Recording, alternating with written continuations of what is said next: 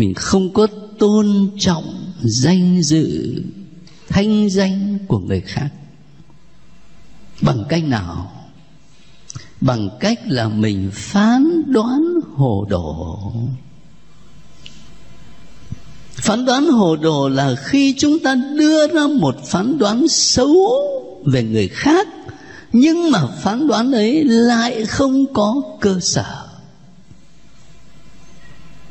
mà điều này xảy ra nhiều lắm. Nói xấu về người này, người kia, đến lúc mà được hỏi lại thì bảo rằng ờ thì tôi cũng nghe như thế.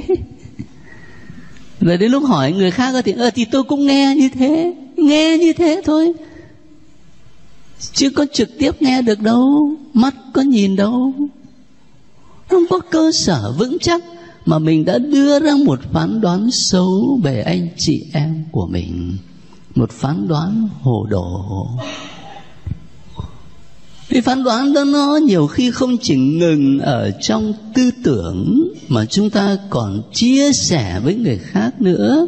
Và khi chia sẻ với người khác như vậy, chúng ta đã làm mất thanh danh của người mà mình có phán đoán không tốt về họ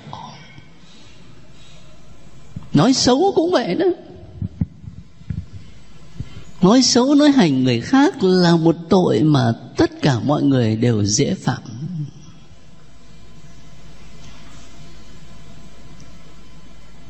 Mình nói một điều xấu về người khác khi không có lý do chính đáng.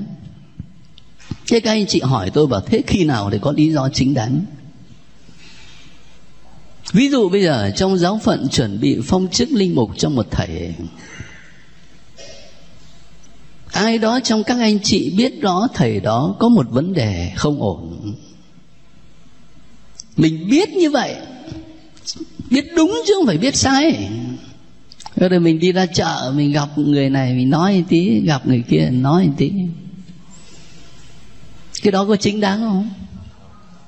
Còn nếu bây giờ mình đến gặp linh mục coi sứ nói với ngài, con đi lễ, con nghe cha thông báo địa phận sắp phong chức cho thầy này, thầy kia. Con biết rõ thầy có vấn đề như thế này, con thưa với cha để cha chỉnh lại cho đức cha. Có chính đáng không? Có chính đáng. Vì ích lợi của hội thánh, hai chuyện hoàn toàn khác nhau cho nên mình nói hành nói xấu khi mà mình nói những điều xấu về người khác mà không có lý do chính đáng. Và nhiều khi hàm ở trong cái sự nói hành nói xấu đó là một cái cảm giác thỏa mãn. Tao tốt hơn. Tao không tệ như vậy. Đấy, về mặt tâm lý nó hàm chứa điều đó. Cho nên lạ lắm cũng về mặt tâm lý. Chúng ta dễ dàng chia buồn với người khác, nhưng không dễ dàng chia vui trước thành công của người khác. Nói thì nghe nó buồn, nhưng mà cái đó là thực tế. Mình dễ dàng để có thể chia sẻ nỗi buồn, sự thất bại của một người. Hàm ở trong đó là sự an ủi.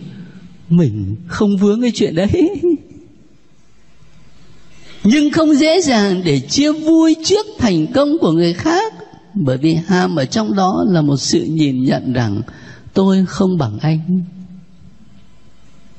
Đây nó cũng là một trong lý do ở chiều sâu khiến người ta dễ nói hành, nói xấu người khác. Có một vị thánh khi ngài còn sống, ngài cũng là linh mục. Mà ai mà đến xưng tội, nói hành, nói xấu thì ngài cho cái việc đền tội rất là đặc biệt.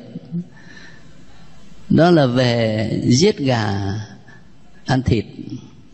Nhưng mà khi giết gà đó thì phải đi dọc làng, cầm lông gà đó, rồi đi hết làng rồi cứ tung lông gà cho nó bay theo chiều gió rồi đến lúc ăn xong con gà nó thì đi nhặt lại cái lông cho nó đủ. Ý của ngài muốn dạy đó là khi chúng ta đi nói hành, nói xấu người khác là lời của mình nó bay trong gió rồi. Nó lan đến bao nhiêu người. Có bao giờ mà chúng ta nhặt cho nó đủ lông gà mà mình đã vãi ra không? Có bao giờ mà chúng ta phục hồi được danh dự cho người khác đầy đủ không? Ngài nói cái thời đó là cách đây mấy thế kỷ rồi. Còn bây giờ là thời của chúng ta, internet, bấm nút cái cả thế giới nghe. Mình mới thấy cái tội nói hành, nói xấu ở trong thời đại của mình nó khủng khiếp như thế nào. Đấy là lý do mà một lát nữa ở trong cái điều răn thứ 8 này, các anh chị thấy hội thánh bàn đến phương tiện truyền thông xã hội là vì vậy đấy ngoài ra còn cái tội nặng nữa, đó là vu khống. Nó còn hơn là nói hành, nói xấu. Kết án một người khác về điều xấu mà người ta không làm. Vu khống. Nói như thật vậy. Các anh chị có nhớ ở trong kinh thánh cái chuyện bà Susanna không? Bà Susanna mà có hai ông già mê bà ấy đó rồi không được thỏa mãn thì tìm cách là trả thù á. rồi ai đứng ra xử? Tiên tri Daniel, phải không? Xử, ông ấy tách hai ông già đó ra. Hỏi ông này là bà đó phạm tội ở chỗ nào? Thì ông ấy nói ở cây ở cây thông. Còn ông kia thì nói ở cây sồi. Vu khống kết án người ta về một cái điều xấu mà người ta không có làm, và mình cũng không thấy. Vậy mà điều này xảy ra nhiều lắm trong đời sống của con người nói chung. Nhiều khi là ngay trong cộng đoàn công giáo mình với nhau. Cho nên cái điều đó này nó liên quan đến đời sống thường nhật của chúng ta khá nhiều. Ngoài ra là những lỗi phạm khác nói dối chẳng hạn. Nhưng mà tôi có viết ra cho các anh chị đây đó, cái tội nói dối, nó nghiêm trọng như thế nào là nó tùy vào những yếu tố này. Thứ nhất là mức độ, thứ hai là hoàn cảnh, thứ ba là sự thiệt hại nó gây ra ba yếu tố. Thứ nhất là mức độ, tự cái lời nói dối đó nó nghiêm trọng hay là nó bình thường? Thứ hai là hoàn cảnh. Khi chúng ta nói dối như vậy, mình có hoàn toàn tự do không? Hay là do một áp lực nào đó? Có áp lực thể lý, đe dọa mạng sống, mà có cả áp lực tâm lý, khiến cho mình phải nói dối. Và thứ ba là cái hậu quả, cái thiệt hại nó gây ra có thể rất nặng nề. Nhưng mà cũng có những lời nói dối thì hậu quả nhẹ nhẹ thôi. Cho nên cái mức độ nghiêm trọng là nó tùy. Chứ không phải lần nào nói dối nó cũng như nhau. Thế rồi ờ, sách giáo lý của hội thánh còn nói đến cả những điều mà có khi chúng ta không quan tâm lắm đâu. Chẳng hạn như là khoe khoang một cách thái quá rồi nịnh hót, tâng bốc những người làm lớn, cho dù họ làm điều xấu nhưng mà vẫn nịnh hót, vẫn tâng bốc để kiếm cái lợi cho mình. Như vậy cũng đâu có phải là sống chân thật. Hội thánh cũng nhắc đến cả những điều đó. Và cuối cùng, khi bàn đến những tội liên quan đến điều răn thứ tám này thì hội thánh nhắc nhớ chúng ta một điều căn bản, là bất cứ lỗi phạm nào đi ngược với đức công bằng, thì đòi buộc chúng ta phải đền bù. Người ngoài công giáo có người không hiểu, người ta bảo là, mấy anh chị công giáo này sướng thật. Cứ đi ăn cắp ăn trộm xong rồi vào xưng tội với ông cha, thế là hết đâu có. Đâu có đơn giản như vậy. Mình xưng tội, bày tỏ lòng sám hối, chúa tha cho mình. Nhưng mà ấy thiệt hại mình gây ra thì vẫn phải đền bù chứ. Vẫn phải đền bù chứ. Và có nhiều cách đền bù. Tôi có thể đền bù công khai hoặc là đền bù âm thầm tôi làm thiệt hại cho người ta điều này. Tôi có thể âm thầm, tôi chuộc lỗi lại bằng cách khác. Tôi có thể đền bù một cách trực tiếp. Tôi làm cho người ta bị mất một triệu đồng. Tôi trả lại cho người ta một triệu đồng. Và tôi cũng có thể bù lại một cách gián tiếp. Người đó bây giờ đã đi xa, người đó bây giờ đã chết. Tôi xin lễ cầu nguyện cho họ tôi làm việc từ thiện bác ái, có ý chỉ cầu nguyện cho họ. Một cách gián tiếp. Nhưng mà phải đền bù. Đó là sự đòi buộc theo lẽ công bằng. Thì ý thức đó giúp chúng ta cẩn trọng hơn.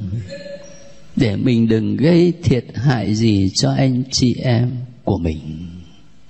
Bây giờ tôi đặt ngược lại câu hỏi các anh chị hiểu đồ cúng là làm sao? Các anh chị hiểu đồ cúng làm sao? Đem cơm rồi đem trái cây lên bàn thờ cúng cho ông bà. 15 phút sau biến mất. Có không? Ông bà ăn rồi. Ông bà có ăn được không? Không. Có ăn được đâu nhưng mà trong nhiều tôn giáo tự nhiên á, thì người ta tin rằng cái đồ cúng cho ông bà là ông bà ăn. Đã thuộc về ông bà rồi đã thuộc về thần linh rồi.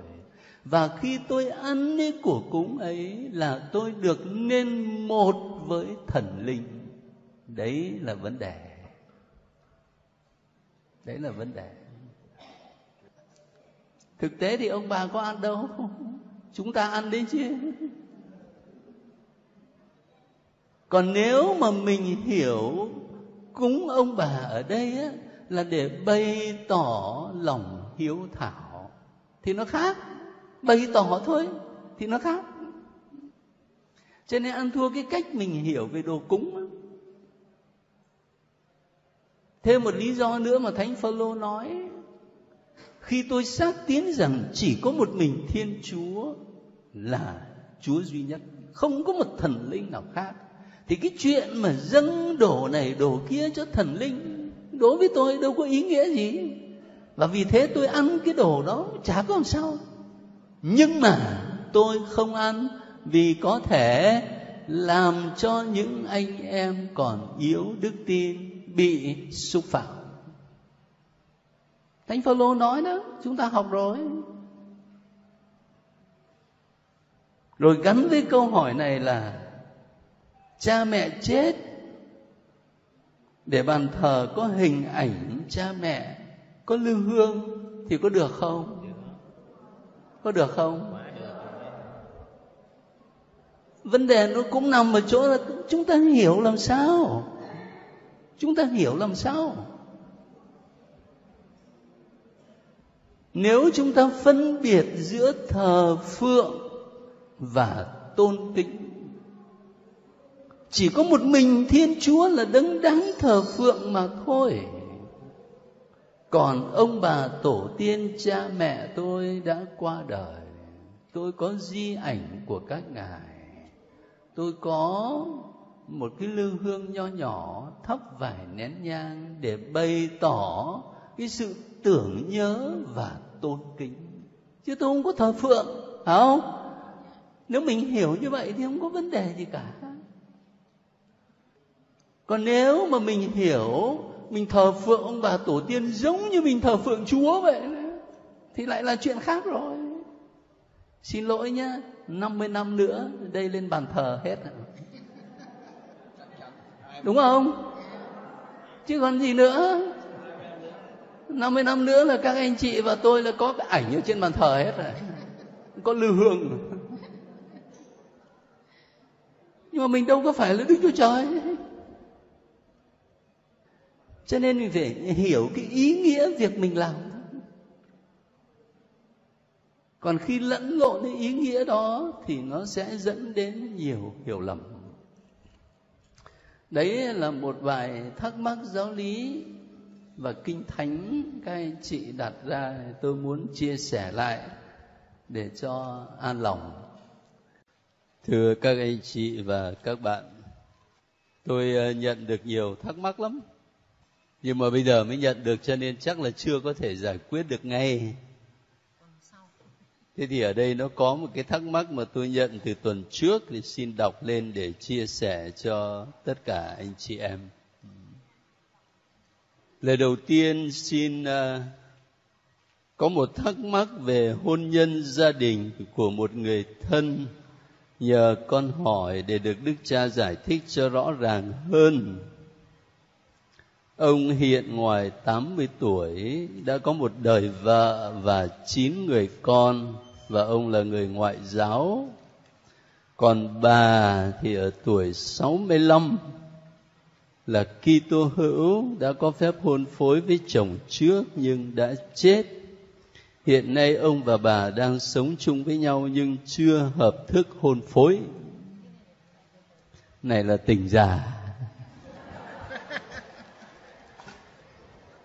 Lý do là bà đang hưởng tiền trợ cấp quả phụ của người chồng trước nên không thể làm hôn thú được nhưng ước mong của bà là được nhận bí tích chuẩn theo luật hội thánh.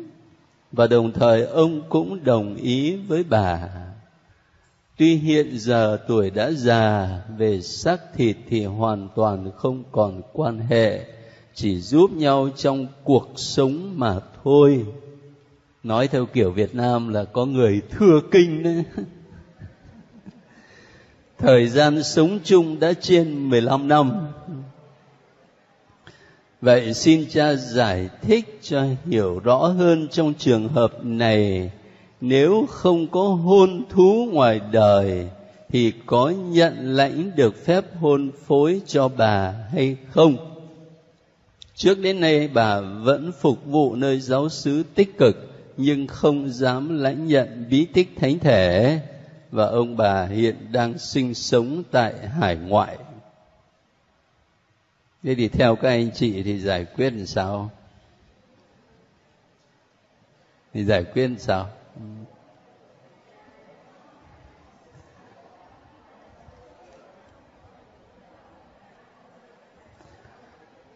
Ở trong này có thấy dùng cái từ đó là bí tích chuẩn theo luật hội thánh không có cái bí tích nào là bí tích chuẩn cả.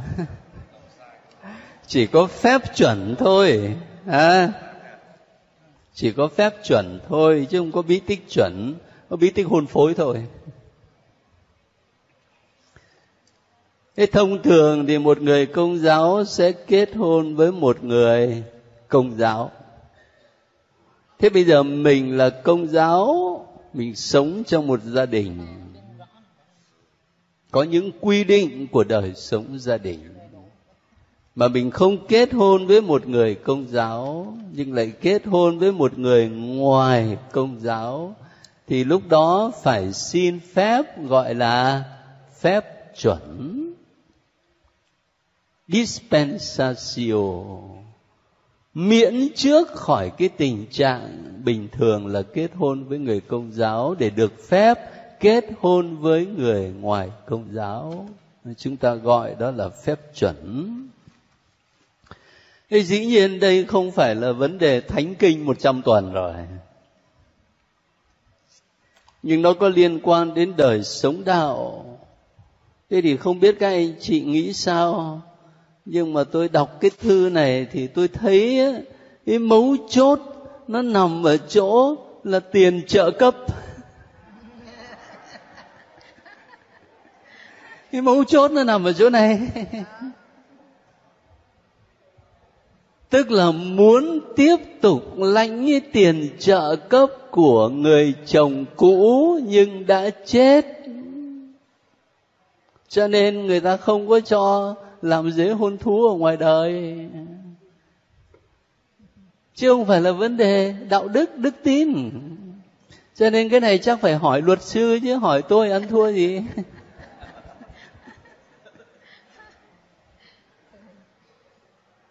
chứ còn nếu mà thực sự ra chúng ta sẵn sàng vì đức tin vào chúa mà mình chấp nhận hy sinh để mình có thể sống một lương tâm ngay thẳng và bình an, thì thôi, ông chồng cũ ông đã chết rồi thì thôi. Bây giờ mình muốn đi bước nữa, thì mình làm dễ hôn thú với ông chồng mới. Nhưng mà mình còn tiếc cái tiền trợ cấp á.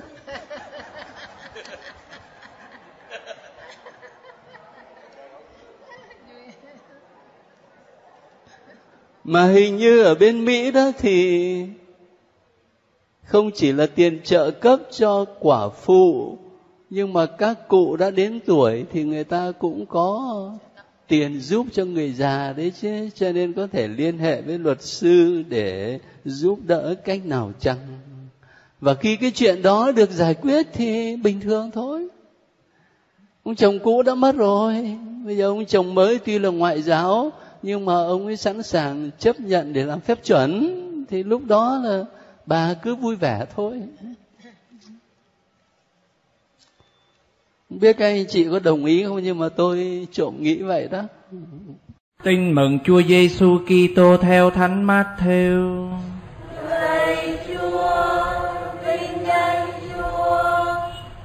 Hồi ấy Đức Giêsu đi khắp các thành thị làng mạc giảng dạy trong các hội đường, rao giảng tin mừng nước trời và chữa hết các bệnh hoàn tật nguyền. Đức Giêsu thấy đám đông thì chành lòng thương, vì họ lầm than vất vưởng như bầy chiên không người chăn dắt. Bấy giờ người nói với các môn đề rằng, lúa chín đầy đồng mà thờ gặt lại ít. Vậy anh em hãy xin chủ mùa gặt sai thờ ra gặt lúa về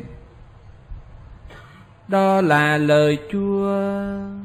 Lời Chúa Kitô, lời khen Chúa. Hôm nay ờ, cha về đây ban bí tích thêm sức cho nên cha muốn biết những ai sẽ chịu phép thêm sức. Cha mời chúng con đứng lên cha nào. Con có nhớ là có bao nhiêu bạn tất cả không? Bao nhiêu? Ồ, giỏi quá hả? Hồi nãy khi cha mới bước vào nhà thờ thì cha xứ chúng con đã giới thiệu rồi cả cộng đoàn vỗ tay chúc mừng. Cha cảm ơn lắm, nhưng mà hôm nay đó chúng con là nhân vật quan trọng lắm. Cho nên chúng con ăn mặc đẹp hơn mọi người trong nhà thờ. Và cha muốn mời cả nhà thờ vỗ tay chúc mừng chúng con.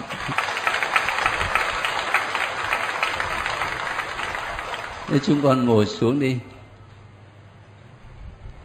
chúng con chịu phép thêm sức hôm nay rất đặc biệt. Là bởi vì hôm nay giáo sứ bế mạc năm thánh, phải không? Thế thánh là cái gì? Thánh làm sao? Nếu tôi anh chị em, thánh nghĩa làm sao thì anh chị em trả lời thế nào? Có phải thông thường chúng ta nói ở cái ông đó thánh lắm, bởi vì ông không có nhậu nhẹt rượu chè, ông không có chửi bới ai hết à? Ồ cái bà đó thánh lắm, bởi vì ngày nào bà ấy cũng đi nhà thờ hết à? Có đúng vậy không? Thông thường đó là nói đến thánh là chúng ta nghĩ đến những người có đời sống đạo đức tốt thế nhưng mà còn vua thánh david thì làm sao? Mình gọi là vua thánh mà. Mà đang khi đó đọc lại kinh thánh thì trời ơi, ông ấy tốt thì có tốt thiệt. Nhưng mà cũng có nhiều lúc ông ấy quá trời. Còn hơn anh chị em với tôi nữa. Ông ấy làm vua rồi thì mấy bà vợ chứ, đâu có ít. Thế mà ông ấy lại còn ham muốn một người đàn bà đã có chồng rồi rồi ông ăn ở với người ta. Rồi đến khi mà người ta có bầu rồi ấy, thì ông tìm cách là ông giấu. Ông giấu bằng cách là ông ấy gọi chồng của người ta là một viên tướng đang ở ngoài mặt trận về. Để ông thăm vợ đó thì mai mốt vợ có sinh cũng không ai nghi ngờ gì cả. Ai già đâu ông tướng ông không chịu về nhà ông ở trong đền nhà vua thôi thế là cuối cùng vua David chỉ còn có mỗi một cách là tống cổ ông trận.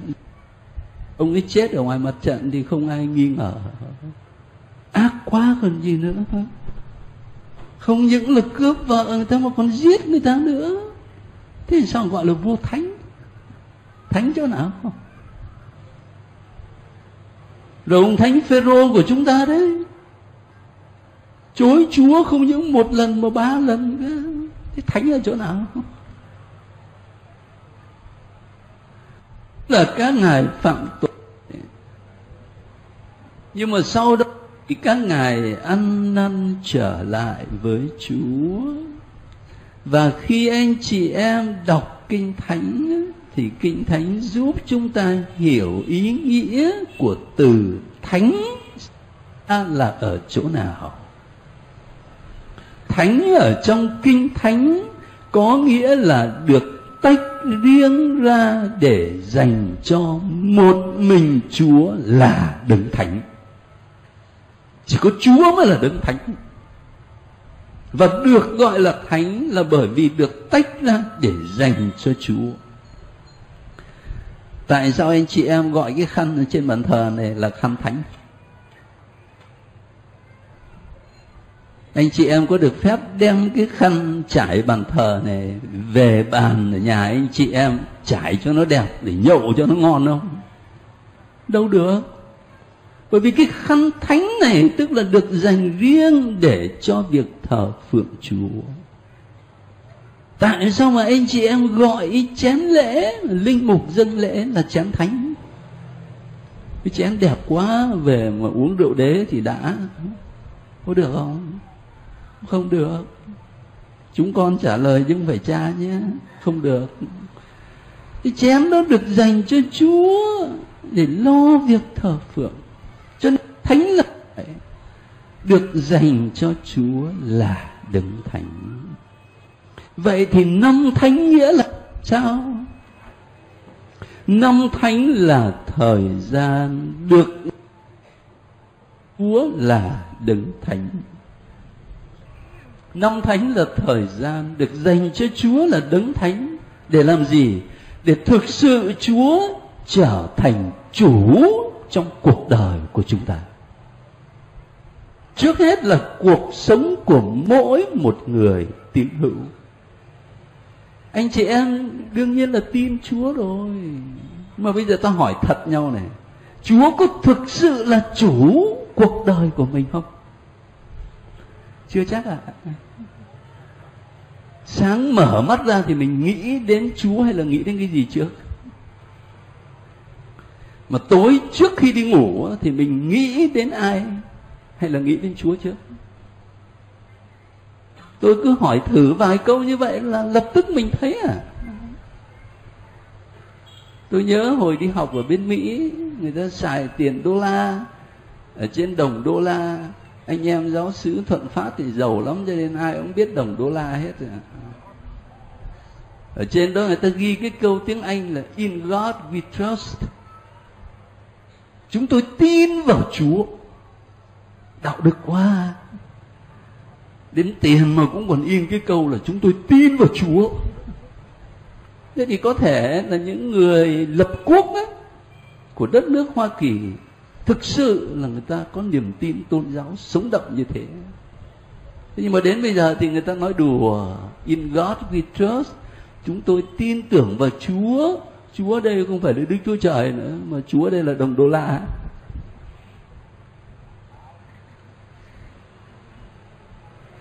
Đức Chúa Trời không còn làm chủ cuộc đời chúng ta nữa, mà đồng đô la nó làm chủ cuộc đời chúng ta cho nên mình nói mình tin Chúa nhưng mà chưa chắc đâu ạ. À. chưa chắc là Chúa đã là chủ cuộc đời của mình. Và vì thế, năm thánh là cơ hội để làm sao bản thân mỗi người chúng ta thực sự chọn Chúa là chủ cuộc đời của mình.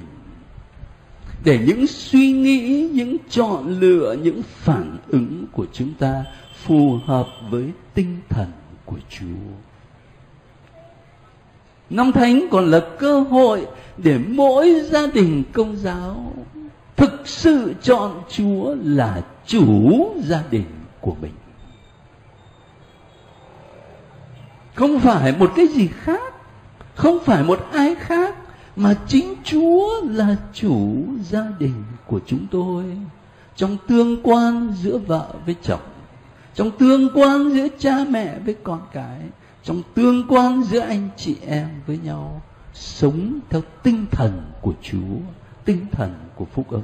Lúc đấy, chúa mới thực sự là chủ đời sống gia đình của mình. Và anh chị em hiểu, đó là lý do sâu xa mà tại sao giáo hội nói chung và cách riêng trong giáo phận Sài Gòn này, anh chị em được kêu gọi dù bận rộn đến đâu, cố gắng gia đình, thu xếp để có lúc cầu nguyện chung với nhau đặc biệt là trong giờ kinh tối tôi nói là cầu nguyện chung chứ không phải là cầu nguyện riêng. Ê, có thể anh chị em cầu nguyện riêng chứ. Ông ngồi một góc và thưa với chúa lạy chúa giá mà biết thế thì con chẳng lấy con mẹ này làm gì nữa. Bà lại ngồi một góc lạy chúa xong một con khổ quá với cái ông này? Có chứ có cầu nguyện đấy nhưng mà cầu riêng thôi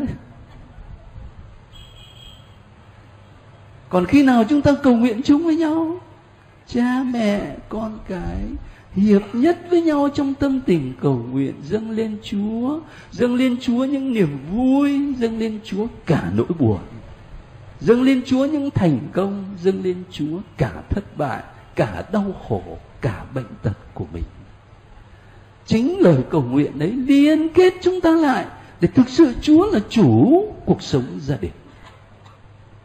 Rồi năm thánh này là năm thánh của giáo sứ thuận pháp cho nên năm này phải là năm mà cả giáo xứ trở thành cộng đoàn thuộc về Chúa. Chúa trên hết. Tôi đã nghe tin anh chị em xây nhà thờ mới từ mấy tháng nay rồi. Nhưng mà hôm nay tôi mới có dịp đến tận đây để xem cái khu đất anh chị em xây dựng. Anh chị em chọn đúng cái năm thánh này để xây nhà thờ xây nhà cho Chúa thật là đẹp, thật là ý nghĩa. Nhưng mà làm sao để cái việc xây dựng ấy nó không chỉ là một công trình vật chất dù nguy nga đến đâu. Nhưng mà việc xây dựng ấy trở thành một cơ hội để giúp cả giáo xứ chúng ta trở thành một cộng đoàn thuộc về Chúa. Một cộng đoàn có Chúa làm chủ, nuôi sống, hướng dẫn, chăm sóc cho chúng ta cho nên năm thánh thiếu nhi chúng con lớp thêm sức này hiểu ý nghĩa như vậy và chúng con chịu vét thêm sức vào ngày bế mạc năm thánh này là đẹp lắm. Và ngày chúng con chịu phép thêm sức, hôm nay đó cũng là dịp để giúp cho cả cộng đoàn giáo xứ hiểu một điều quan trọng này. Thế con chịu phép thêm sức là con đón nhận cái gì? Đón nhận Chúa đi thẳng đúng rồi.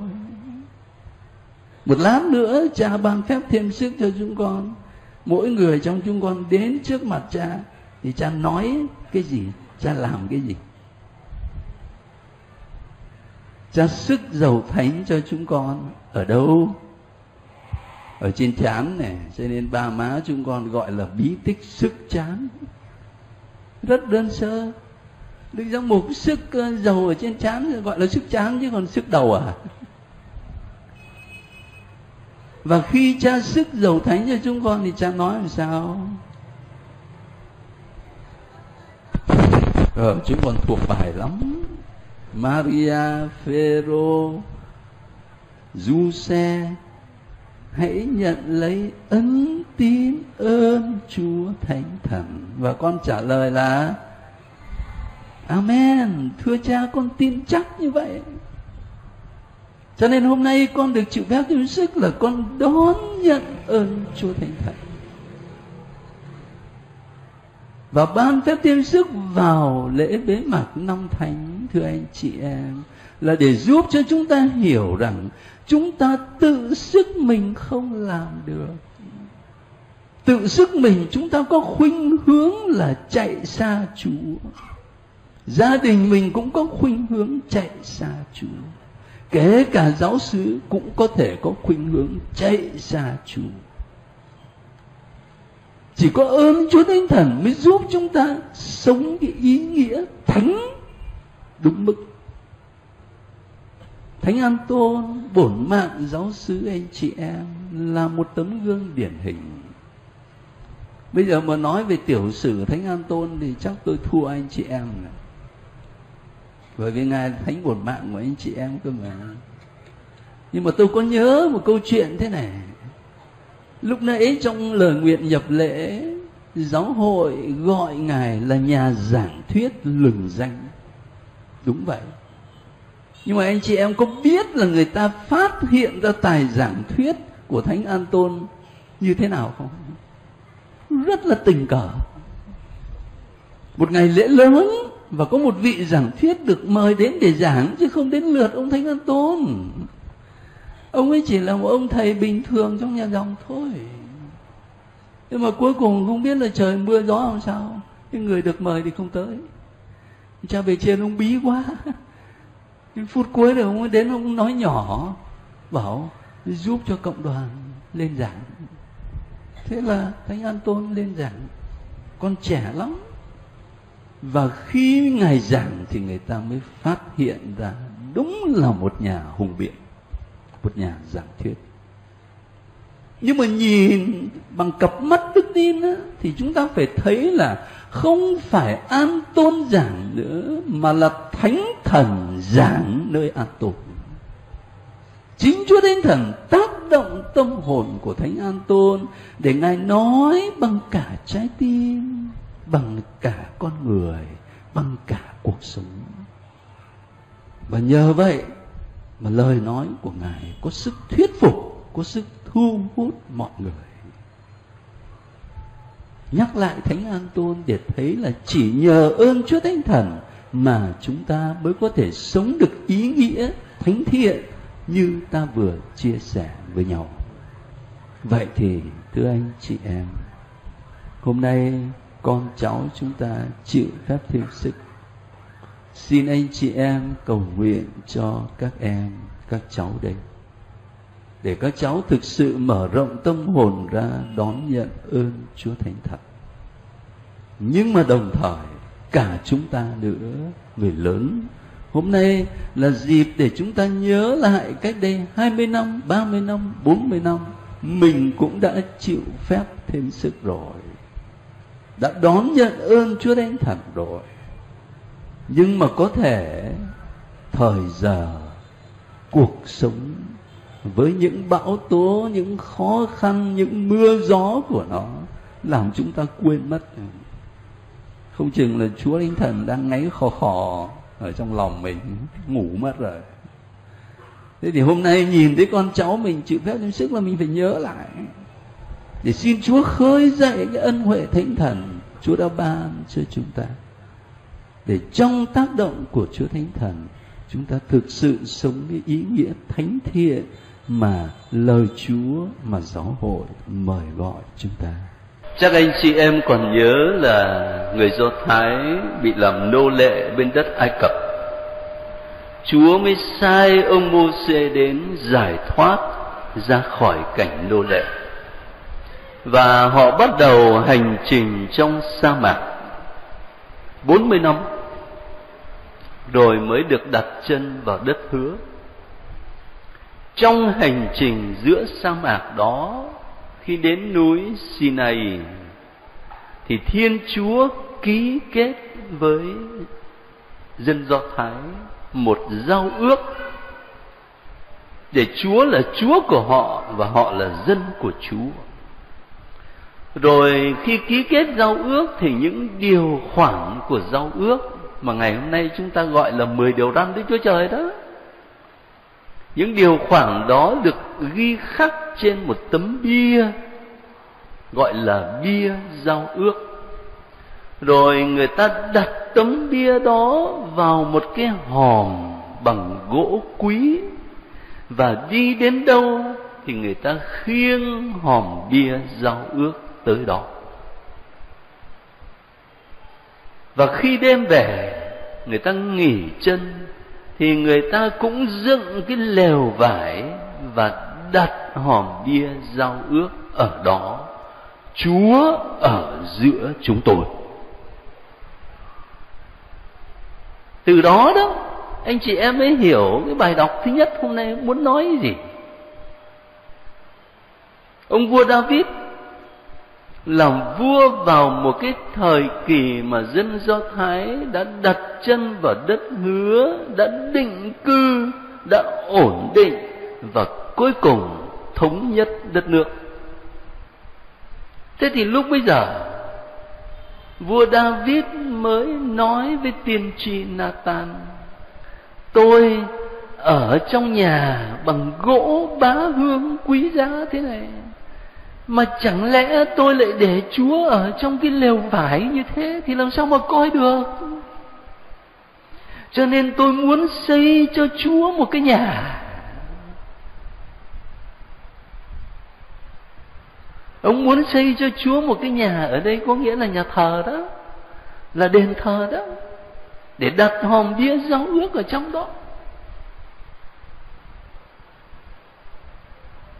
Nhưng mà chúa lại trả lời david qua tiên tri nathan, không phải là ngươi sẽ xây nhà cho ta, mà là chính ta sẽ xây nhà cho người.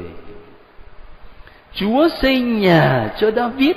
Cái nhà ở đây không còn là cái nhà bằng gỗ, bằng đá mà nhà ở đây có nghĩa là triều đại của David sẽ vững bền mãi mãi. Chính Chúa sẽ xây nhà cho David.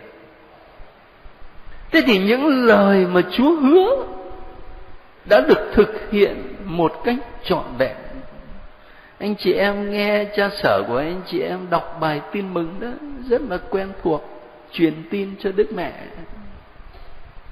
ở đó lời hứa của thiên chúa được thực hiện trọn vẹn. Chúa hứa xây nhà, có nghĩa là cái triều đại của david vững bền.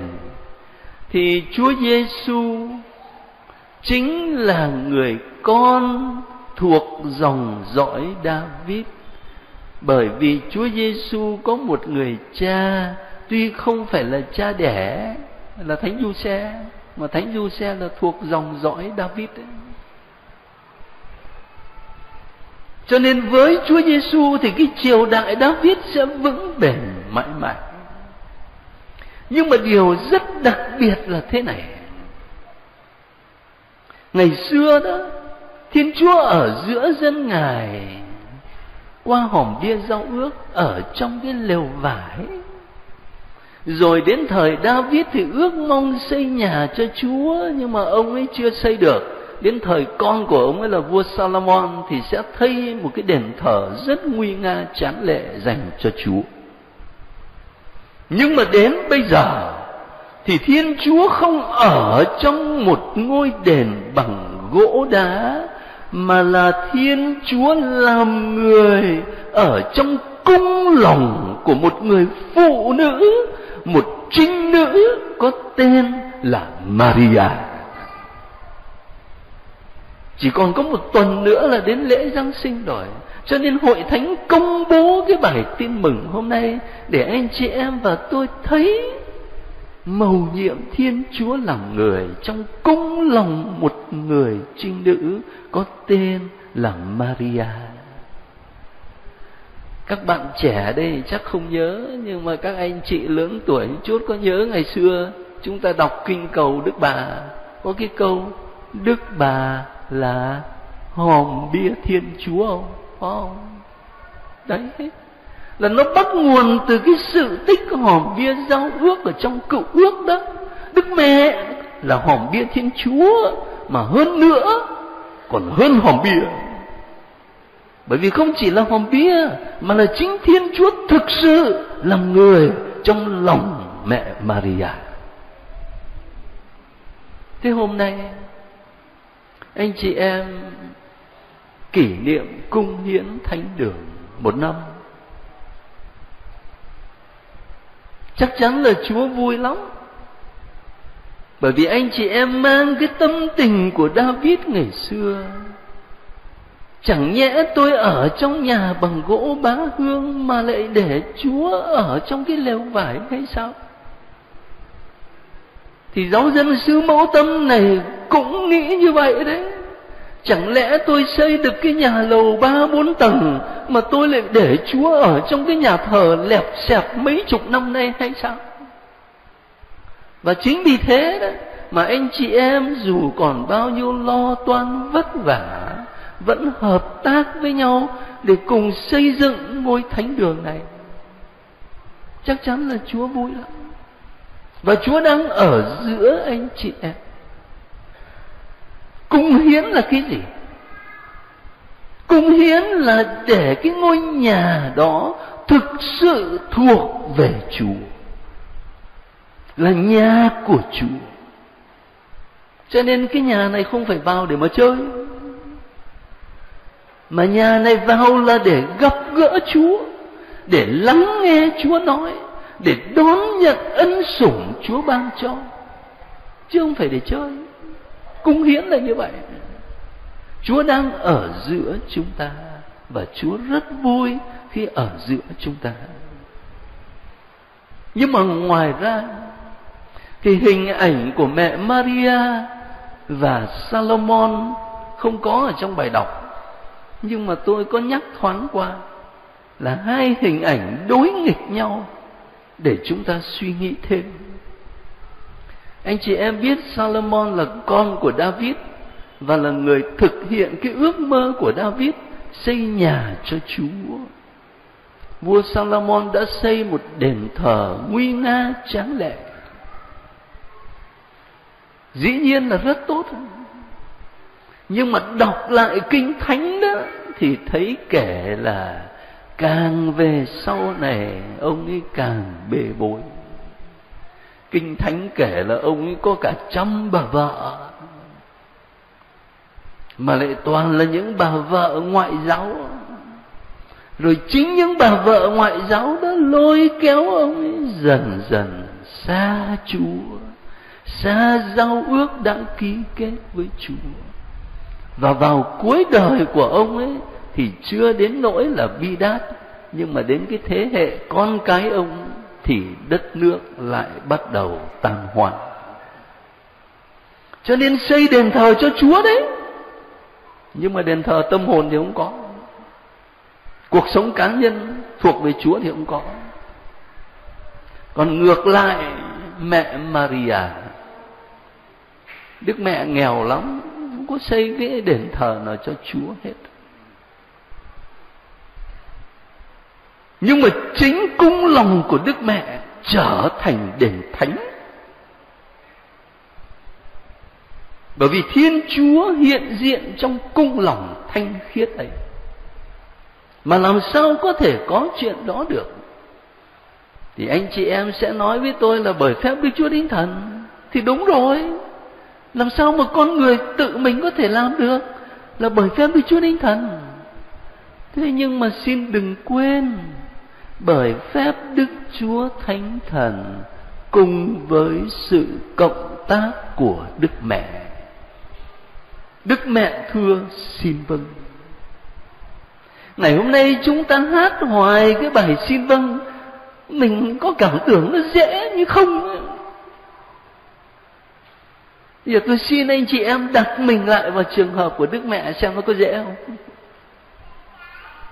Một thiếu nữ nhà quê tự nhiên sứ thần của chúa hiện đến đề nghị cô sẽ thụ thai, sinh một con trai đặt tên là giêsu có tin nổi không? Có tin nổi không? Giả như bảo cái bà elizabeth ấy bái già rồi nhưng mà ít ra người ta có chồng. Người ta có con thì cũng là chuyện hiểu được. Đằng này tuy đã đính hôn với chàng thanh niên có tên là du xe, nhưng mà vợ chồng chưa hề ăn ở với nhau, sao có con được? Đấy, anh chị em thử đặt mình lại coi, có dễ chấp nhận không? Mà chưa hết đâu lúc đấy đức mẹ đã đính hôn với thánh du xe tuy chưa về nhà chồng, nhưng mà theo luật của do thái, người ta coi như là cặp vợ chồng chính thức. Mà đã là cặp vợ chồng chính thức á, mà chưa ăn ở với nhau, bây giờ tự nhiên cô có cô có bầu. Thế thì tính sao đấy? Anh chị em đọc lại kinh thánh đi có phải là thánh du xe, ngài cũng thấy bất an đấy chứ. Cho nên thánh mắt thưa mới kể lại ông du xe định tâm lìa bỏ bà cách kín đáo. Có vấn đề chứ. Mà đấy, thánh du xe là người công chính á. Chứ còn bình thường, người ta sẽ có quyền tố cáo cô thiếu nữ này ra tòa án và tòa án sẽ ra lệnh ném đá người phụ nữ cho đến chết. Thì cho nên là hát cái bài xin vâng nghe nó thoải mái. Nhưng mà đặt mình lại đi, vào trường hợp của đức mẹ, mới thấy xin vâng nó khó như thế nào. Xin vâng đối với lời thiên chúa vượt trên tầm hiểu biết tự nhiên của con người xin vâng đối với lời thiên chúa, mời gọi mình dấn thân mà đối diện với cả cái chết. Đâu có dễ. Đấy, phải có lời xin vâng như vậy thì bởi phép đức chúa thánh thần mới có mầu nhiệm nhập thể. Hai hình ảnh Salomon và mẹ Maria nhắc nhớ chúng ta điều này Chúa rất vui khi mà mình xây cho Chúa ngôi đền thánh và Chúa ở giữa anh chị em. Nhưng nếu chỉ có xây đền thánh thôi á, rồi giống như Salomon thì chắc là không ổn. Mà xây đền thờ xong phải sống cái thái độ của Đức Mẹ thái độ xin vâng thái độ lắng nghe lời chúa thái độ để đón nhận thiên chúa vào trong cuộc đời của cộng đoàn giáo xứ của gia đình anh chị em, của mỗi người trong anh chị em. Được như thế thì ngày kỷ niệm cung hiến thánh đường này sẽ tuyệt vời.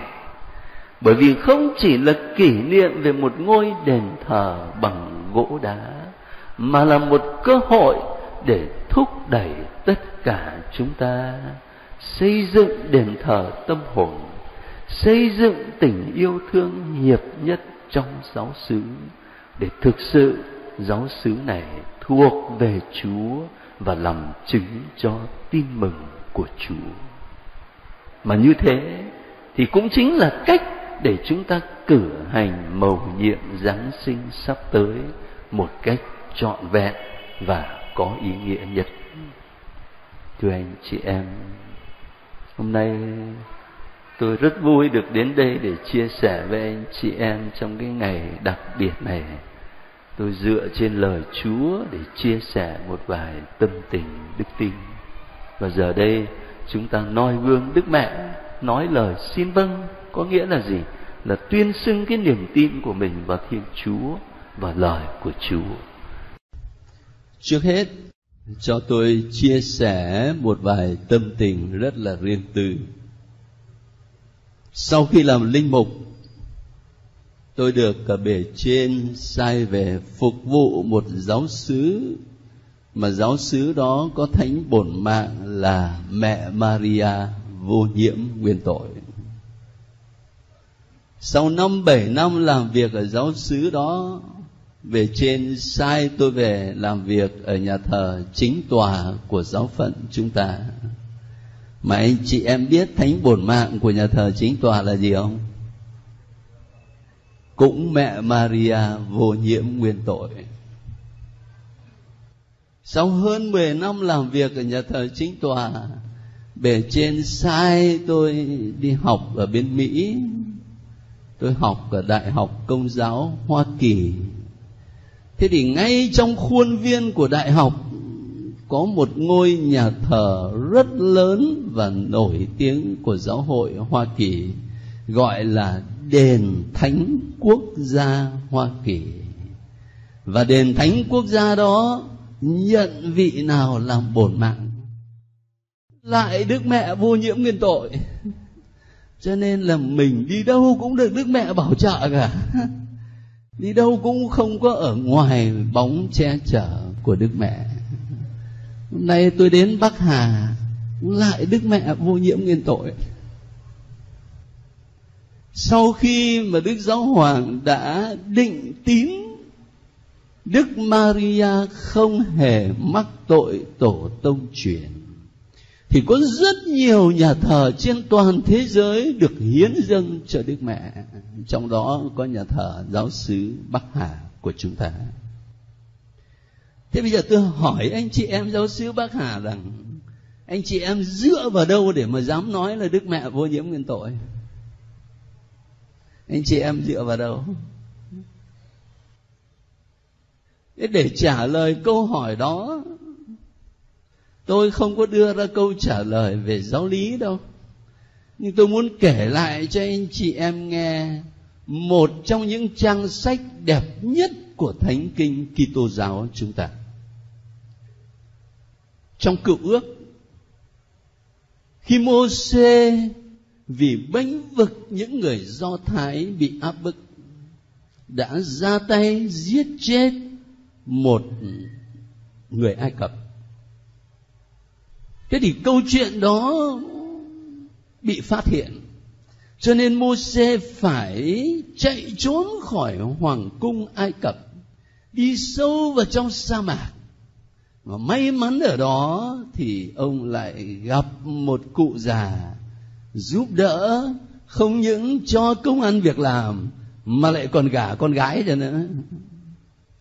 Thế là từ đó trở đi mô xê hàng ngày chăn chiên, chăn cừu cho nhạc phụ. Và có một hôm, khi ông dẫn đoàn chiên cừu đi sâu vào trong hoang địa, thì bỗng ông phát hiện một cảnh tượng rất hấp dẫn. Đó là ông nhìn thấy có một bụi gai bốc cháy, rực lửa. Nhưng mà điều lạ lùng là bụi gai đó vẫn xanh tươi, chứ không bị thiêu rụi. Mô-xê được thu hút bởi cảnh tượng đó cho nên ông ấy chạy đến đó xem đã làm sao. Và khi ông ta vừa mới đần đến gần bụi gai bốc lửa đó thì có một tiếng nói từ trong bụi gai vang lên. Môsê, Môsê, hãy đứng lại quỳ gối xuống cởi dép ra bởi vì đất ngươi đang đứng là đất thánh và sau đó thì thiên chúa tỏ mình cho mô xê và trao cho Môsê sứ mạng giải thoát dân Do Thái khỏi đất Ai Cập. Bây giờ anh chị em và tôi tự hỏi là tại làm sao cái bụi gai nó bốc lửa mà không bị thiêu rụi? Cứ theo lẽ thường thì nó phải bị thiêu rụi thôi. Nhưng mà tại sao nó không bị? Là bởi vì Thiên Chúa hiện diện ở đây. Đất ngươi đang đứng là đất thánh.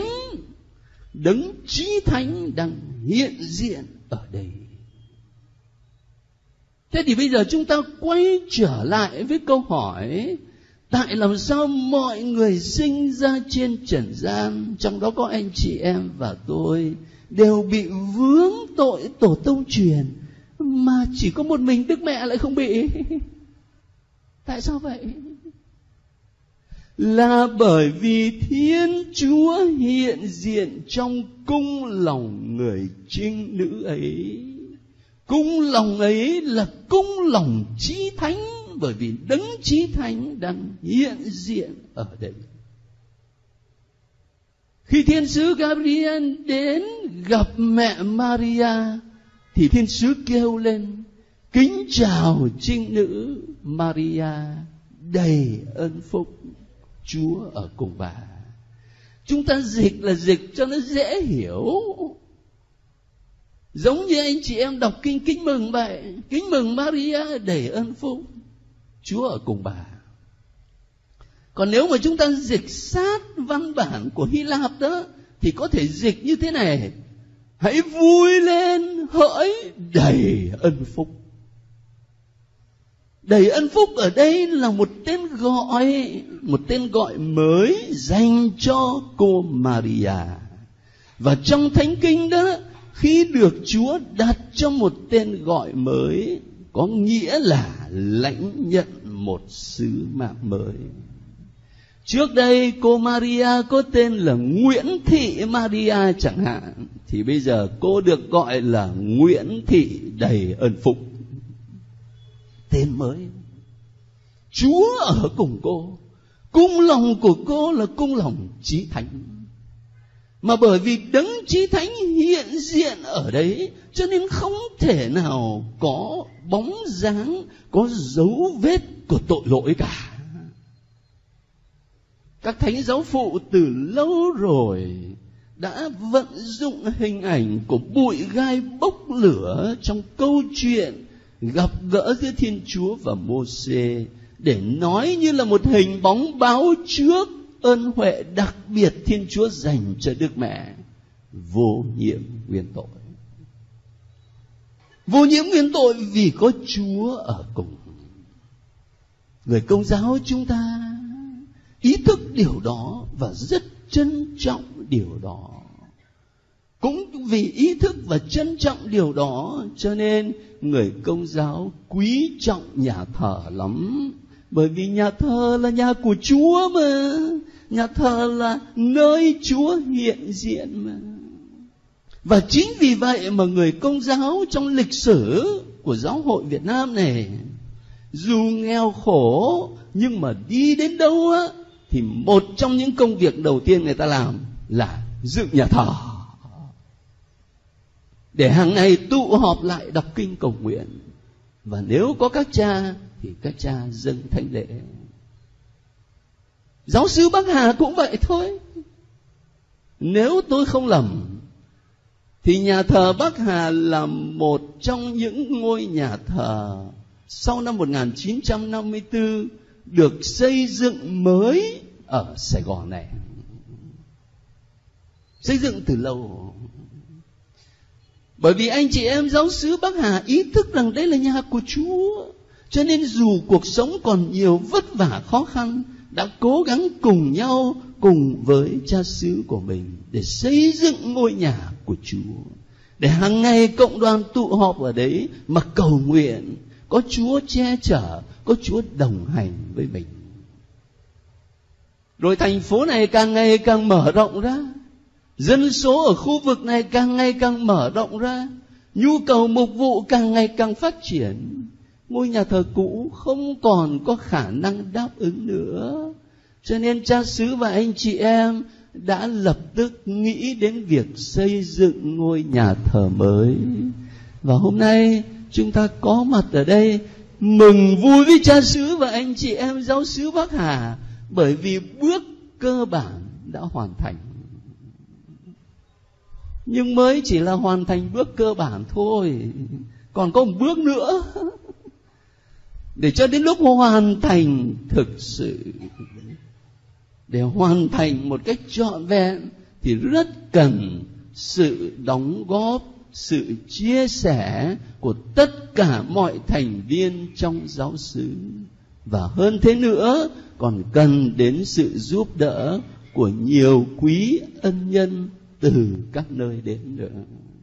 Và chúng ta làm công việc đó với một ý thức đức tin rằng đây là nhà của chúa.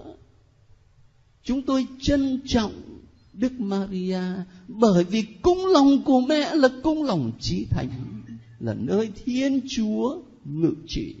Cũng vậy, chúng tôi trân trọng ngôi nhà thờ bởi vì đây là nhà của chúa, là nơi chúa hiện diện giữa chúng tôi, giữa cuộc đời này.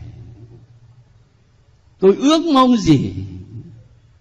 Cha xứ và anh chị em, giáo xứ bắc hà đã rất khéo để chọn những ngày khởi đầu của năm thánh 2010 mà cử hành lễ tạ ơn này cũng là lễ bổn mạng giáo xứ tôi ước mong gì trước khi năm thánh 2010 khép lại, cha xứ và anh chị em ở Bắc Hà có thể hoàn tất một cách trọn vẹn ngôi nhà thờ này, để chúng ta lại cùng có cơ hội đến đây một lần nữa, dâng lời tạ ơn Chúa và chia sẻ niềm vui với giáo sư.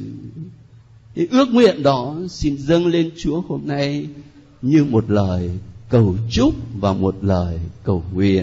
Tín điều Đức Maria vua những nguyên tội được Đức Giáo Hoàng Pio thứ 9 chính thức công bố vào năm 1854 ở trong thông điệp Ineffabilis Deus. Ở trong thông điệp đó, Đức Giáo Hoàng dựa vào những bản văn kinh thánh chính yếu và cũng là những bản văn mà anh chị em nghe hôm nay bài đọc thứ nhất, trích từ sách sáng thế ở chương 3 bài tin mừng về việc truyền tin cho mẹ Maria theo Thánh Luca ở chương 1.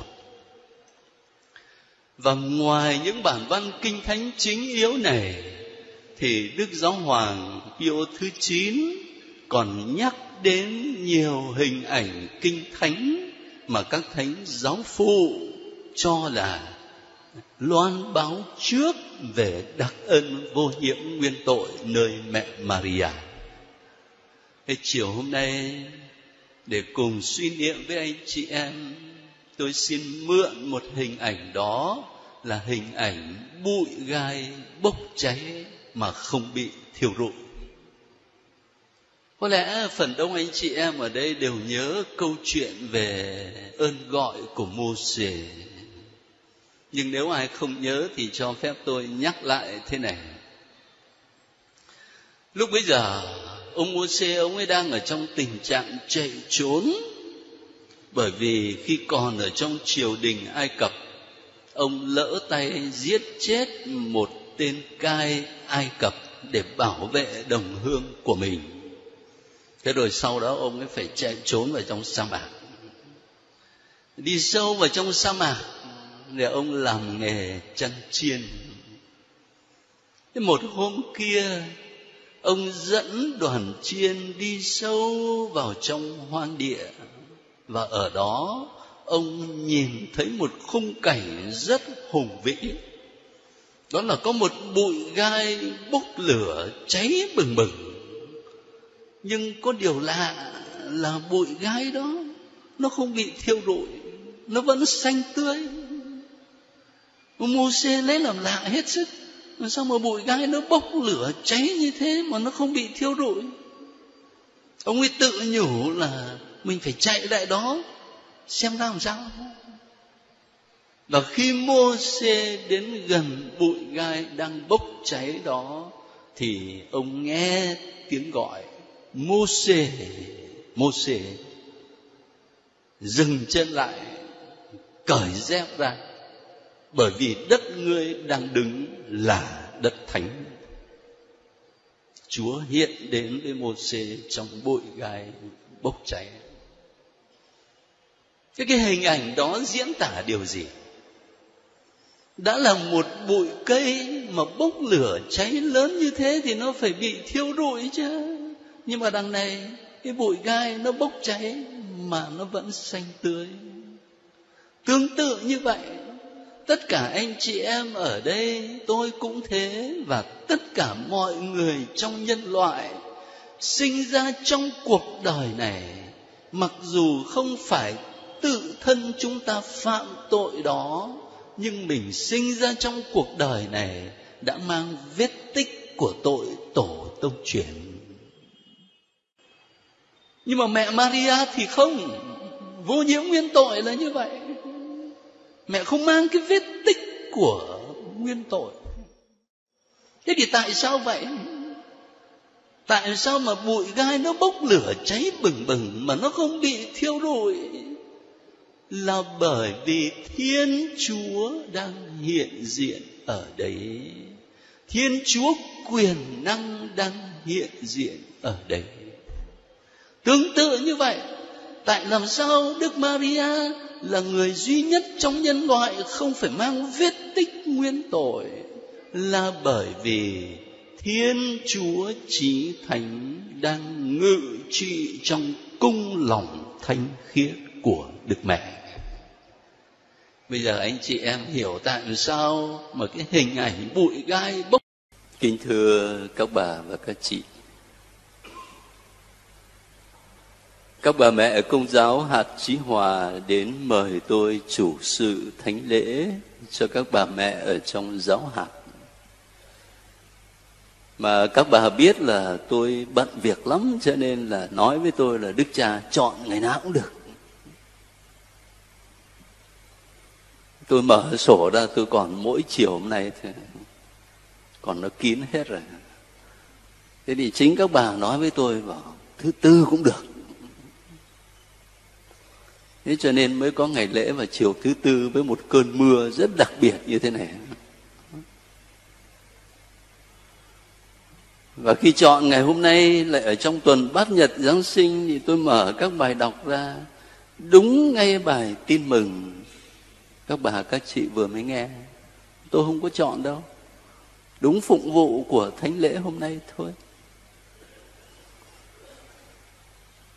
Một sự tình cờ ngẫu nhiên nhưng có lẽ chúa gửi cho chúng ta cái bài tin mừng này bởi vì hàm trong đó nhiều lời nhắn nhủ cho các bà mẹ công giáo lắm Thế bây giờ các bà và các chị cùng với tôi quay lại với bài tin mừng rất quen thuộc. Đức mẹ đem Chúa Giêsu lên đền thánh. Tại sao lại phải đem lên đền thánh? Có hai chuyện. Chuyện thứ nhất đó là luật Do Thái lúc bấy giờ quy định rằng một phụ nữ sau khi sinh con thì ở trong tình trạng ô uế 40 ngày. Cho nên hết cái thời gian gọi là ô uế đó thì người phụ nữ phải lên đền thờ để được thầy tư tế thanh tẩy cho. Thì sau đó mới gia nhập vào cử hành của cộng đoàn dân chúa được. Cho nên là đức mẹ lên đền thánh để được thanh tẩy. Chuyện thứ hai là, các bà và các chị ờ, có học thánh kinh cựu ước không? Hình như nhiều người học lắm á. Có nhớ chuyện ngày xưa dân do thái đi làm nô lệ ở bên đất ai cập không? Rồi chúa sai ông mô xê đến để giải thoát họ. Ông mô xê làm nhiều phép lạ lắm, nhưng mà phép lạ vĩ đại nhất, phép lạ cuối cùng mà qua đó, vua pharaoh của ai cập chấp thuận cho người do thái ra đi là phép lạ gì? Con đầu lòng trong các gia đình ai cập, chết hết. Còn con đầu lòng trong các gia đình do thái thì được sống sống là nhờ chúa. Thành thử ra sau này luật do thái quy định, khi mà sinh con đầu lòng thì phải dâng đứa con đó cho chúa rồi sau đó mới chuộc đứa con đó về. Nhà nghèo thì bò hay là chiên. Ở nhà giàu chứ. Chứ còn nhà nghèo như đức mẹ với thánh du xe của mình thì chỉ có cặp chim bồ câu thôi. Dâng con trong đền thánh. Là như vậy. Thế bây giờ các bà và các chị ờ, xét lại thử coi. Đức mẹ của chúng ta có cần phải được lên đền thờ để thanh tẩy không? Đức mẹ chịu thai là bởi phép Đức Chúa Linh Thần chứ không phải bởi ông nào đâu mà bảo là ô với uế. Mà đã không ô uế thì làm sao mà phải lên đền thờ thanh tẩy?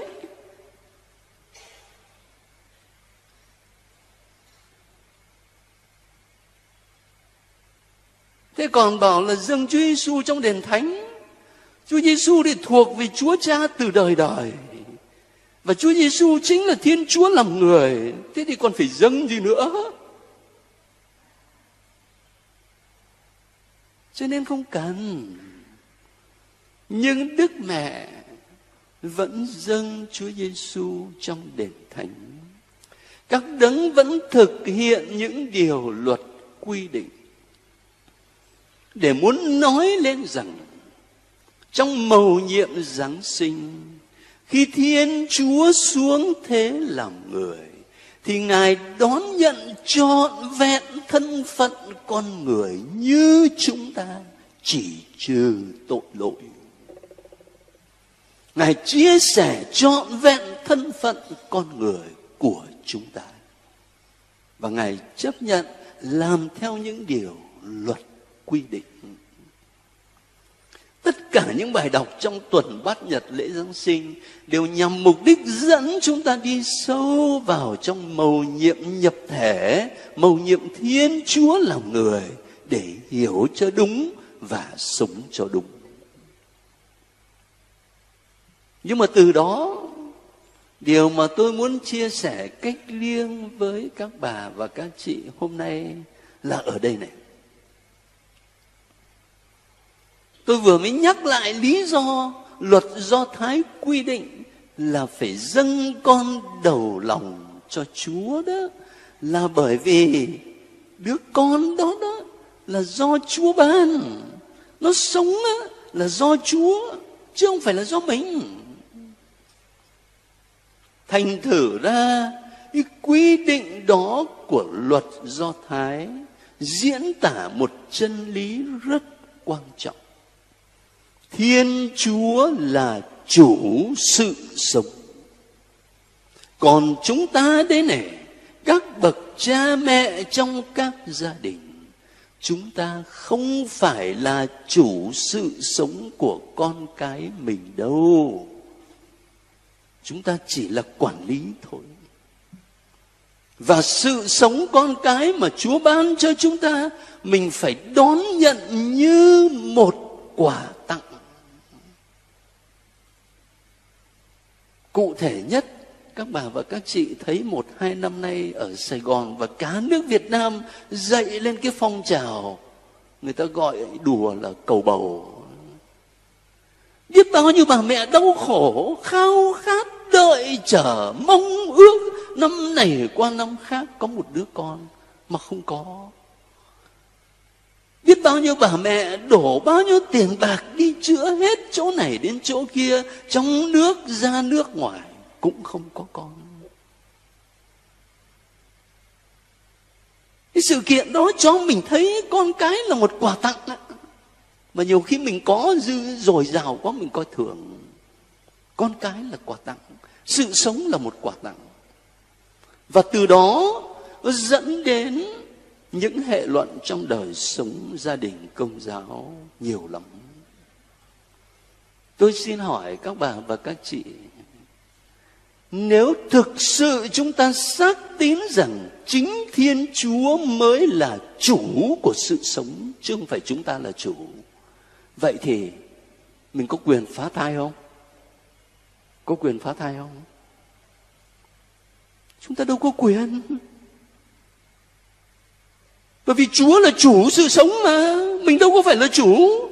Để rồi tự mình mình quyết định là tôi giữ. Do tôi, mà tôi bỏ cũng là do tôi. Đâu có phải quyền của chúng ta. Nhưng đấy chính là thực trạng đáng buồn của ngày hôm nay. Ở trong đại hội dân chúa cách đây hơn một tháng, tại trung tâm mục vụ tôi nghe đức cha giáo phận bắc ninh ngài kể cho tôi là ở trong phái đoàn đại biểu của giáo phận bắc ninh tham dự thì có một bạn trẻ là giáo lý viên. Thế ngài mới hỏi bạn trẻ đó rằng là, con tham dự đại hội này thì con ấn tượng cái gì nhất? Dạ thưa cha con ấn tượng nhất là thấy có một ông đại biểu mà ông cũng là bác sĩ ông lên ông đọc bài tham luận. Trong đó ông ấy nói là Việt Nam mình là cường quốc phá thai. Rồi người ta còn ngồi tính ra là cứ 6 giây thì có một đứa trẻ bị dứt ra khỏi lòng mẹ. Sợ quá, khủng khiếp quá. Đấy, việt nam mình giỏi thế đấy, thưa các bà, các chị kinh tế với văn hóa thì không biết là có bằng ai không, nhưng mà phá thai là cường quốc đấy.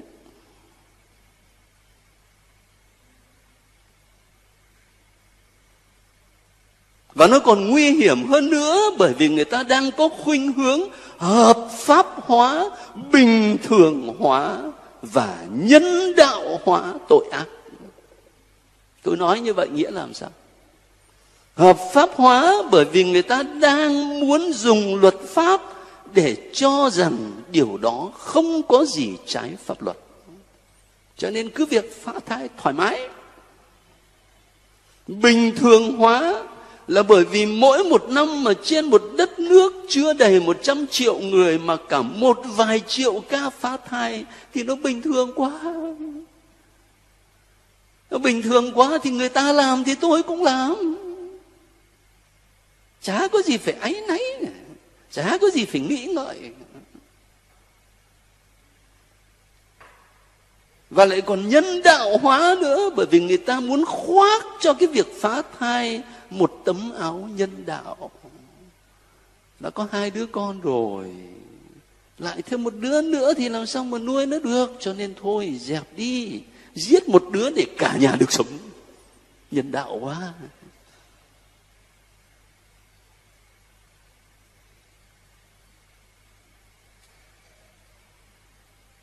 Cho nên nếu chúng ta thực sự xác tín Thiên Chúa là chủ của sự sống thì phải đặt lại vấn đề cho mình. Tôi có quyền để tự quyết định giữ hay là dứt bỏ cái sự sống mà Chúa đã ban không?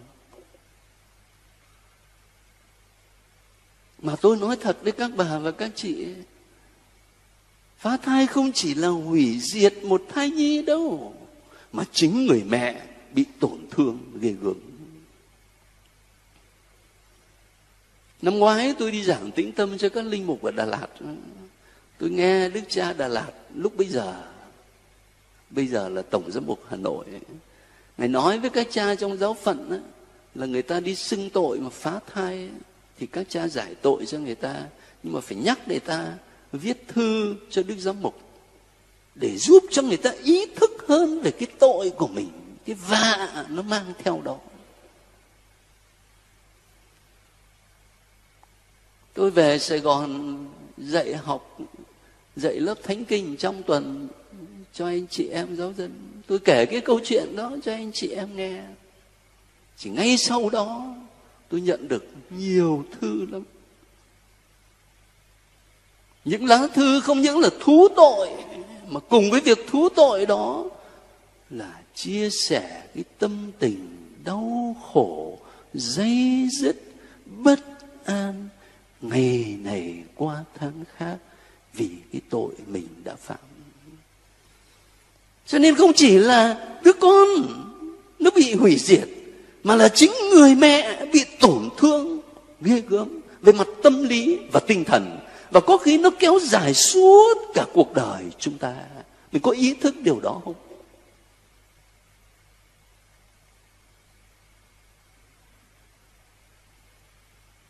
Xác tín thiên chúa là chủ của sự sống, phải dẫn chúng ta đến chỗ tôn trọng sự sống con người.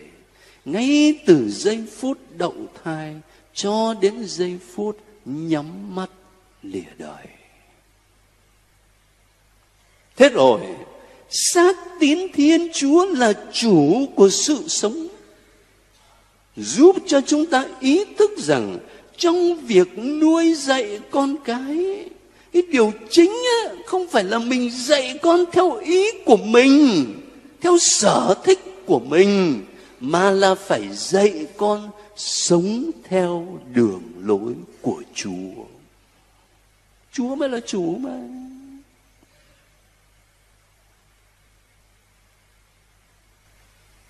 Một cách cụ thể là phải biết quan tâm đến không chỉ đời sống thể lý của con cái, mà phải biết quan tâm đến đời sống đạo đức tinh thần của con cái dựa trên lời của Chúa. các bà mẹ ở đây có vị thánh bổn mạng tuyệt vời là thánh nữ Monica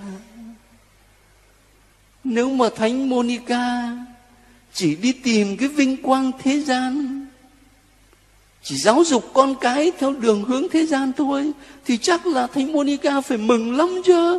Bởi vì trời ơi, tôi có một ông con trai thông minh vào hàng số một á. Còn trẻ như vậy mà đã nổi tiếng là thông thái, đã thành công ở ngoài đời như vậy. Nhưng mà không, thánh nữ Monica không cảm thấy hạnh phúc vì điều đấy. Mà trái lại, đau khổ bao nhiêu năm trời một giáo mục thời bây giờ gọi thánh Monica là người mẹ của kinh nguyện và nước mắt. Bởi vì thánh Monica chỉ mong đưa con mình là Augustino về với Chúa. Đấy là tấm gương của các bà mẹ, công giáo.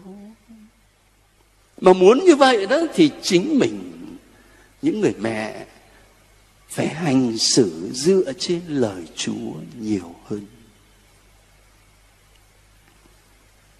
Cách đây mấy hôm có đại hội gia đình của giáo phận trong trung tâm mục vụ. Tôi thấy có một cặp vợ chồng, anh ấy là bác sĩ. Hai anh chị dẫn cháu nhỏ lên chia sẻ cái chứng từ về gia đình đại khái là khi chị có thai.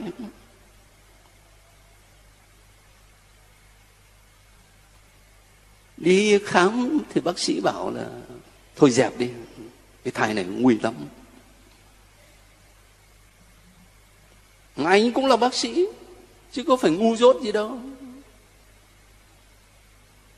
Hai vợ chồng cũng nao núng lắm.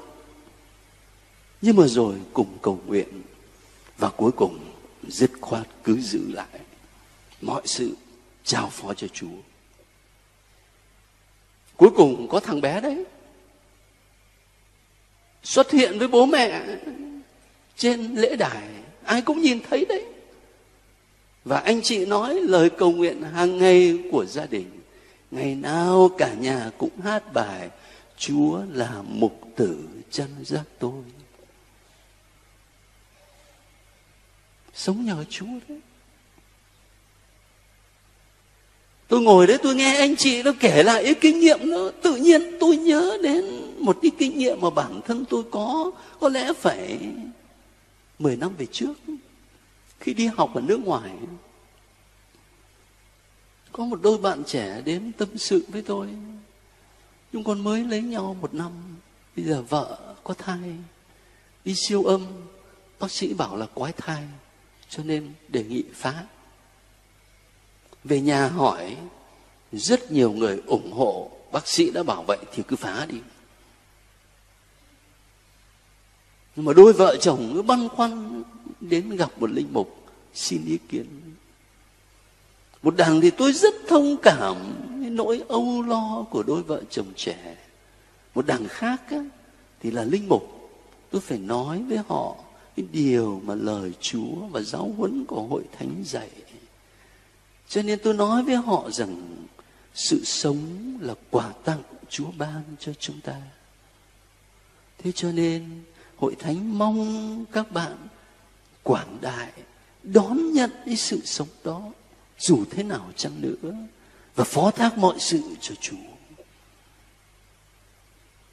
Thế rồi học xong rồi tôi về nước nhưng mà sau đó thì có dịp quay lại Hoa Kỳ một hai lần đi công tác. Tôi đến thăm với gia đình đó. Thấy một bé gái nó chạy ra nó chào. Ôi, con bé đẹp quá xinh quá dễ thương quá. Hóa ra đấy là cô bé mà người ta đề nghị phá thai đấy. Cho nên nếu chúng ta xác tín Thiên Chúa là chủ của sự sống thì thưa anh chị em, không những là không phá thai nhưng mà còn phải ý thức rằng tôi nuôi dạy con cái theo đường lối của Chúa vì Chúa mới là chủ của sự sống. Và Thiên Chúa sau này sẽ hỏi tôi con nuôi dạy con cái con theo đường hướng nào và cuối cùng, một câu mà cụ Simeon nói với mẹ Maria. Một lưỡi gươm sẽ đâm thấu tâm hồn bà.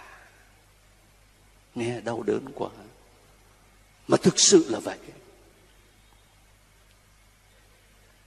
Chúa Giêsu không đem đến cho Đức Mẹ của chúng ta vinh quang theo kiểu thế gian.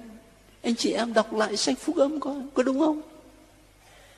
Thì cũng có lúc đây Đức Mẹ thấy người ta ca tụng con mình thì chắc là cũng hạnh phúc lắm. Nhưng mà những giây phút đó xem đã ít thôi.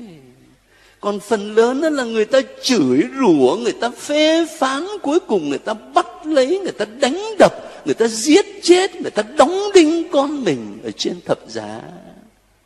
Mẹ thì đứng ở dưới chân thập giá. Đúng là lưỡi gươm đâm thấu tâm hồn bà. Cái câu này cụ Simeon nói tiên tri về cuộc đời Đức Mẹ. Nhưng mà tôi tưởng cách nào đó cũng liên quan đến những người mẹ, đặc biệt là các bà mẹ công giáo. Một lưỡi gươm đâm thấu tâm hồn các bà mẹ công giáo. Khi các bà mẹ cố gắng để nuôi dạy con cái sống theo đường lối của phúc âm, mà lại phải sống giữa một thời đại, nó đi ngược tinh thần phúc âm, thì biết bao nhiêu đau khổ, biết bao nhiêu âu lo, biết bao nhiêu vất vả. Không ít bà mẹ nói với tôi là thưa cha con cũng biết là giữ giờ kinh tối trong gia đình quan trọng lắm nhưng mà con nói hoài con thuyết phục hoài cũng không được. Khổ ghê.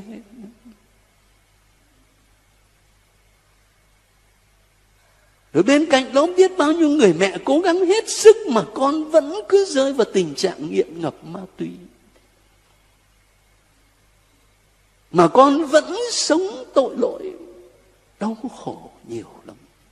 Một lưỡi gươm đâm thấu tâm hồn bà.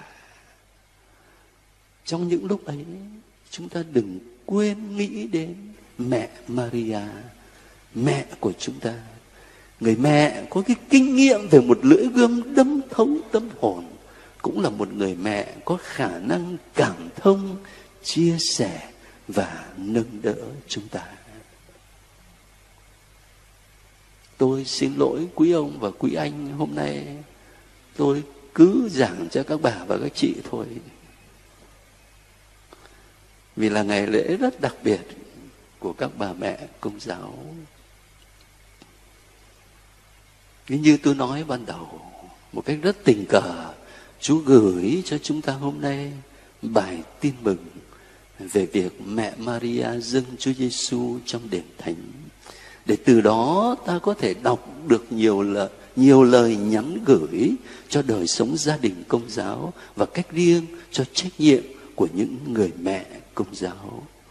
Và khi cố gắng để sống điều này, thì thưa các bà và các chị, đó là chúng ta đang góp phần xây dựng nền văn hóa sự sống và văn minh tình thương là quyết tâm lớn của giáo hội công giáo tại Việt Nam trong những năm sắp tới. Nhờ lời truyền cầu của Đức Mẹ, xin Chúa chúc lành cho những nỗ lực của chúng ta và ban cho những nỗ lực ấy mang lại kết quả hoa trái dồi dào cho đời sống gia đình chúng ta. Amen. Khi nhìn lại đời mình, ta cảm nhận tình Chúa yêu thương ta. Nhưng nếu thực sự cảm nhận như thế, thì đời sống đức tin sẽ như thế nào? Trong gia đình, một người con có kinh nghiệm và cảm nhận rõ nét cha mẹ yêu thương mình hy sinh cho mình thì chắc là người con ấy sẽ sống tình hiếu thảo với cha mẹ thật mặn nồng. Tương tự như vậy, nếu thực sự cảm nhận chúa là cha yêu thương, và chúng ta là những người con được đón nhận tình yêu ấy, thì hẳn là đời sống đức tin của ta phải là đời sống trang chứa tình hiếu thảo. Tình hiếu thảo được thể hiện trong mối quan hệ của mỗi chúng ta với thiên chúa, cũng như trong mối quan hệ của mình với anh chị em chung quanh.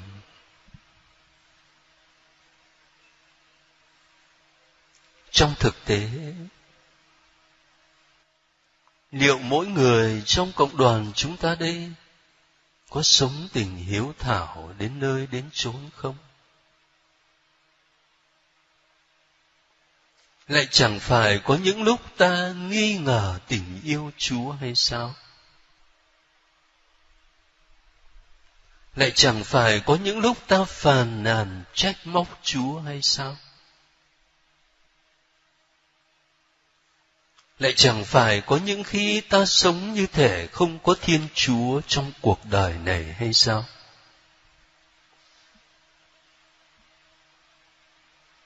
Một phút tĩnh lặng thật cần thiết để giúp chúng ta nhìn lại chính mình, nhìn lại tấm lòng hiếu thảo có hay chăng với thiên chúa là cha mà ta tuyên xưng là tình yêu.